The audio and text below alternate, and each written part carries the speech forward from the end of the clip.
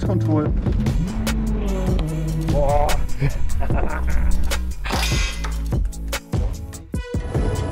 Er ist doch ganz gut geworden.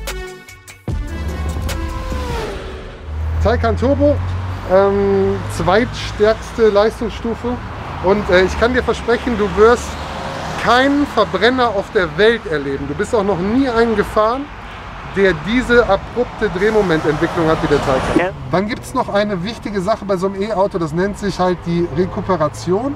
Die kannst du hier nochmal einstellen. Das heißt, du, du hast jetzt die Rekuperation ein. Das bedeutet, wenn du vom Gaspedal runtergehst, das Ja. kennst du von deinem Tesla noch, dann bremst er automatisch, also führt Energie wieder zurück Ja, in die Batterie und verzögert. So, Porsche hat sich aber gedacht, wenn jemand zum Beispiel auf der Rennstrecke fährt mit so einem Taycan, dann passt das nicht zu so einem Porsche. Wenn der immer so stark verzögert, das nimmt dem Ganzen irgendwie die Sportlichkeit. Das heißt, du kannst hier bei Porsche die Rekuperation ganz Ausschalten. ausschalten, Mhm. was dann einem Verbrenner schon deutlich näher kommt vom Fahrgefühl. Das fühlt sich wirklich fast an wie ein Verbrenner.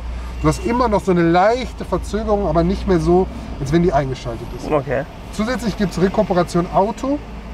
Ist auch sehr clever, das fahre ich am liebsten beim Taycan, Mhm. weil das Auto selber entscheidet, ähm, lasse ich die jetzt an, schalte ich die ab, je nachdem wie gerade deine Streckenführung ist, Autobahn, Landstraße, schnell, langsam, wie Mhm. deine Gasbefehle sind, entscheidet das Auto das selber.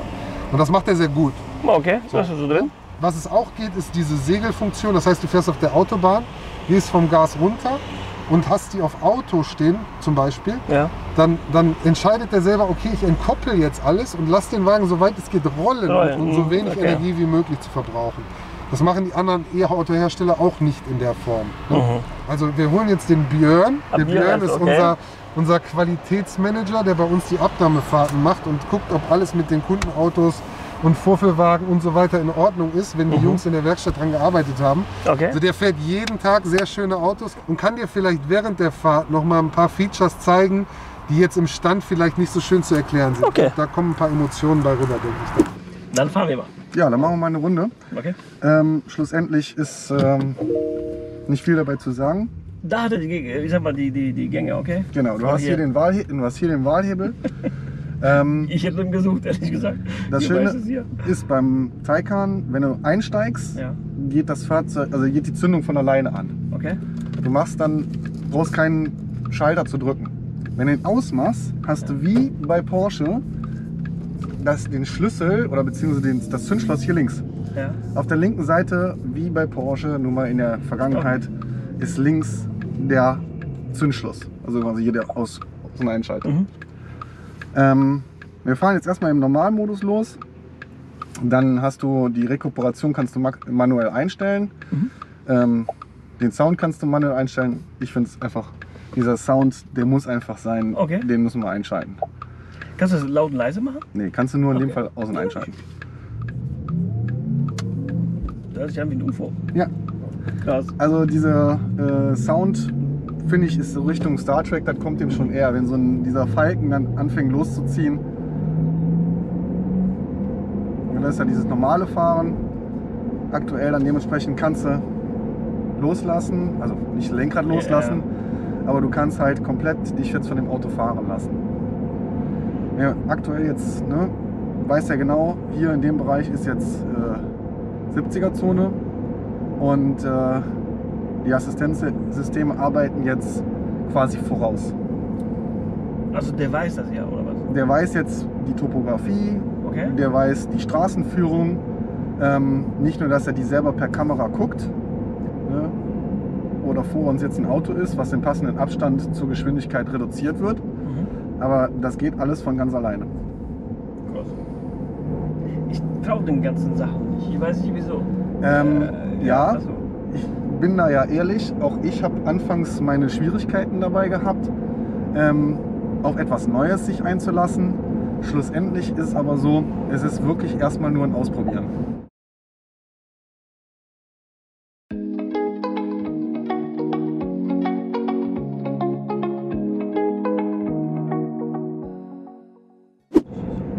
Das macht jetzt aktuell alles das Fahrzeug. wie? Du machst gar nichts? Nee, ich mach nichts. Ich lenke Okay. Da hört jemand an. Schon cool. Kurze Frage zwischendurch. Klar? Klimaanlage hat er auch? Ja? Ja, hab ich, ich hab die Dings hier. Das wäre fantastisch. Also, er Also, hatte, also im Prinzip kannst du gar keinen Unfall damit bauen, weil der bremst ja komplett äh, von genau. Also du musst es halt immer, wenn du in das Fahrzeug rein, reinkommst, Ja? musst du es halt aktiv ihm sagen, Okay. dass du jetzt mit diesem PIT, abgekürzt, Porsche InnoDrive nennt sich Ja. das, jetzt fahren möchtest. Dann hast du hier unten im Display eine zusätzliche Okay. kleine Anzeige, die grün wird, sobald sie quasi aktiv ist und bereit ist und fährt. Aktuell jetzt blau, weil er weiß, dass wir jetzt gleich in eine andere Geschwindigkeitszone kommen und er bremst den von ganz alleine ab. Da wir jetzt eine Ampel vor uns haben, Ja. bremst er nur deswegen ab, weil wir vor uns ein Fahrzeug haben. Stoppstraßen, Vorfahrt Achtenstraßen, rechts vor linksstraßen, Ampeln. Ja. Das kann er natürlich nur dann erkennen, äh, wenn jemand vor ihm ist, der ihn einbremst. Oder du musst halt bremsen. Okay. Aber Kurven, zum Beispiel im Kreisverkehr, wo wir jetzt gleich zum Beispiel reinfahren, Mhm. den erkennt er von ganz alleine. Der weiß ja gar nicht, was jetzt gerade vor uns noch alles kommt. Ja, deshalb ja. Der weiß aber schon allein durch die Kamera und die im Hintergrund hinterlegte Karte, was jetzt als nächstes kommt. Wenn ich abbremse, du, du gibst ja auch kein Gas? nö, das, weil das macht er ja von ganz alleine. Wo soll die Geschichte hingehen? Ja, das ist wirklich so ein bisschen die die Frage. Ähm, also hingehen? ich glaube, es gab da mal einen Film, der nennt sich iRobot Ja. mit Will, ja, Smith, genau. mit Will Smith. Das zum Beispiel Ja. hat er jetzt auch erkannt, weil der Platz zwischen dem geparkten Auto und uns Im Gegenverkehr? und dem Gegenverkehr Ja. war natürlich dann so ein bisschen grenzwertig. Oh, okay. Jetzt fahren wir auf die Autobahn, da weiß er auch genau, da ist gleich die Geschwindigkeit aufgehoben.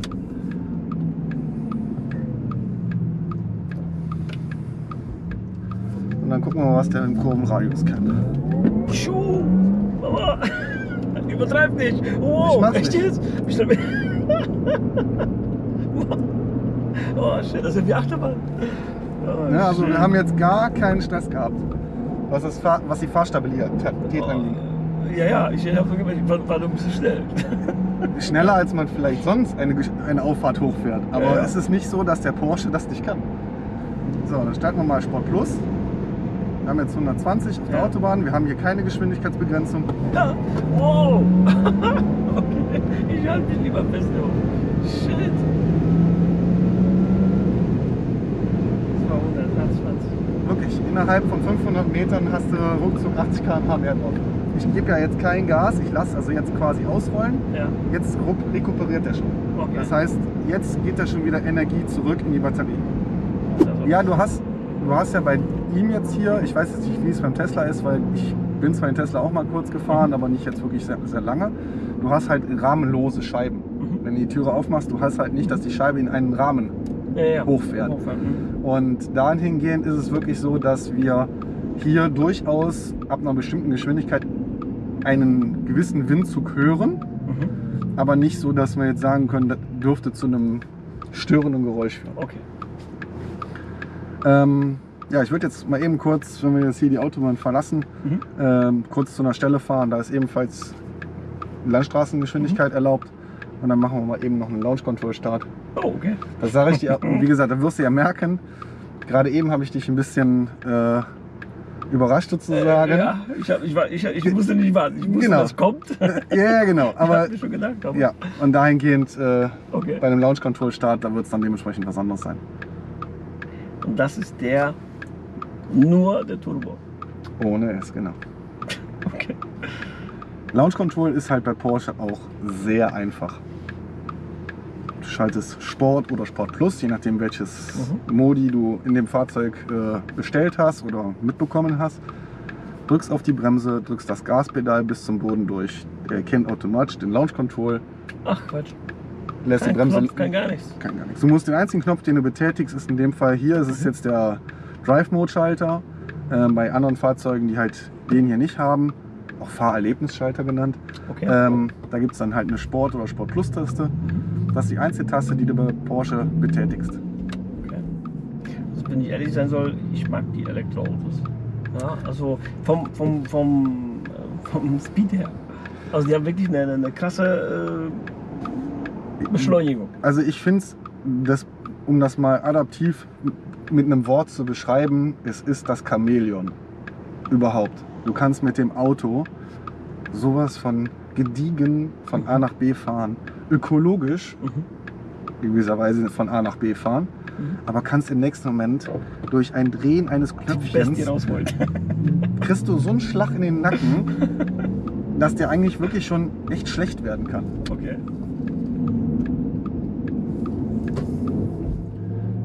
So. Dann wechseln wir mal in Sport Plus. Okay. Halt mal besser alles fest. Oh, okay. Jetzt ist es wirklich so. Ich meine das jetzt nicht. Ernsthaft? Es ist wirklich so. Bremse treten, Gaspedal, Launch Control. Oh ja.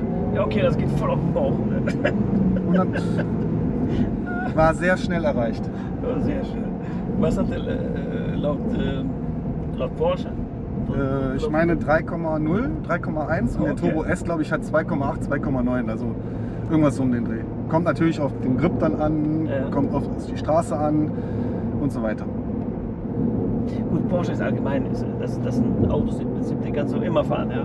Ob du, deswegen mögen das viele Ärzte, Anwälte und Co. Ja? Du bist sportlich unterwegs, fällt es nicht extrem auf, so als ich sag mal, ähm, Ferrari, Lambo und Co. Ganz genau. Ja?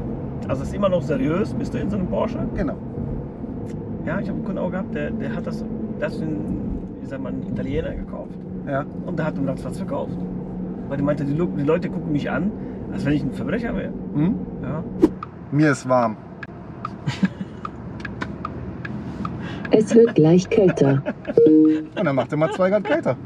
Mir ist warm, ich habe Durst. Ich bin dran. Moment. Ich habe Hunger. Bitte wählen Sie eine Zeilennummer. Niemals. Abbruch. Meine Damen und Herren, jetzt fahren wir. D. Hast du nicht Angst mit mir? Ein bisschen schon. Ne? Ist schön. Hm? Finde ich sehr, sehr schön. Also wirklich so von der guten Porsche-Verarbeitung. Wovon reden wir? Also ich meine, wir reden Ja, aber das ist so mit dem Matten Oberste hab ich Liga. auch bei noch keinem gesehen, ne? Bei Ja. einem Porsche oder so? Nein, aber auch. Schon, schon. Ich muss eins sagen, also ich habe noch Qualitätsprobleme bei Porsche noch nie gehabt und auch noch nie gehört, glaube ich. Schöne Käppi hast du übrigens. Ja, ne? Gibt es bei uns im Shop. Nur so nebenbei. So Oder bei uns im Laden. Oder bei uns im Laden in Kamp Lindfort. Ne? Für die, die es eilig haben. Nicht abwarten können. Die es sofort haben wollen. Richtig. Ja, gut, nicht jeder wohnt bei uns. Das ist egal. Das ist eine? Reise wert. Das stimmt. Aber auch, auch das Glasdach, ne? Riesig. Mama mia, bis wohin geht das? Ich meine, bei der, bei der, bei der Vorführung im Januar ja, äh, habe ich schon gesagt, das ist ein riesiges, riesen Klopper. Jetzt so beim Fahren, dann merkt man erstmal, wie groß es ist. Ne? Aha. Also jetzt, wo, wo ich das Auto fahre. Geile Mann 7000.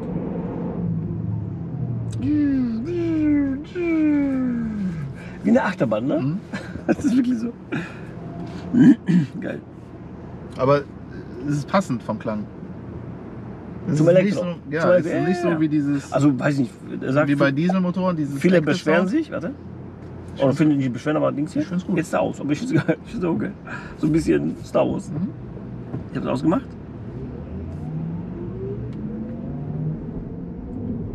Wenn es aus ist, ist es wie eine S-Bahn. Bisschen. Wir fahren der von Porsche. Ja, okay, das ist geiler, finde ich. Also, wir mögen den Knopf. Ne? Gute Idee, Porsche. So sieht's aus. Naja, im Großen und Ganzen geiles Auto. Und, und ab 105.000